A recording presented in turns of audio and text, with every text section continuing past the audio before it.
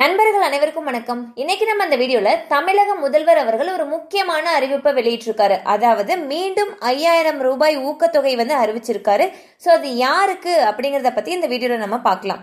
வீடியோக்குள்ள போறதுக்கு முன்னாடி இது வரைக்கும் நீங்க நம்ம சேனலை சப்ஸ்கிரைப் பண்ணலைன்னா சப்ஸ்கிரைப் பண்ணிருங்க. மறக்காம பக்கத்துல இருக்கக்கூடிய பெல் பட்டனையும் கிளிக் பண்ணிருங்க. அப்பதான் எங்ககிட்ட இருந்து வரக்கூடிய அனைத்து முக்கியமான தகவல்களும் உங்களுக்கு கரெக்ட் டைம்க்கு ரீச் ஆகும். இப்போ வாங்க வீடியோக்குள்ள போலாம்.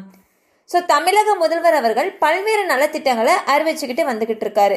இன்னைக்கு ஜூன் மூன்று அதாவது மறைந்த முதல்வர் கலைஞர் ஐயா அவர்களுடைய பிறந்தநாள் தினமாக இருக்கு. இன்னைக்கு வந்து மேலும் ஒரு அறிவிப்பை வெளியிட்டிருக்காரு. அதாவது ஐயாயிரம் ரூபாய் ஊக்கத்தொகையை அறிவிச்சிருக்காரு. இது யாருக்கு அப்படின்னு சொல்லி பார்த்தீங்கன்னா தமிழகத்தில் கொரோனா பாதிப்பு காலகட்டத்திலும் உழைத்து வரும் காவல்துறையினருக்கு ஐயாயிரம் வழங்குறதுக்கு உத்தரவு போட்டிருக்காரு.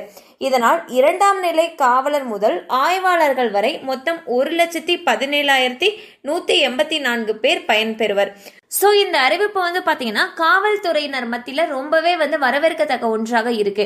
அண்ட் வந்து இன்னைக்கு வந்து பாத்தீங்கன்னா இதை தவிர இன்னும் ஏழு அறிவிப்புகளையும் அறிவிச்சிருந்தாரு. ஸோ வந்து அது எல்லாமே வந்துட்டு மக்களுக்கு பயனளிக்கக்கூடிய விதத்துல இருக்கு.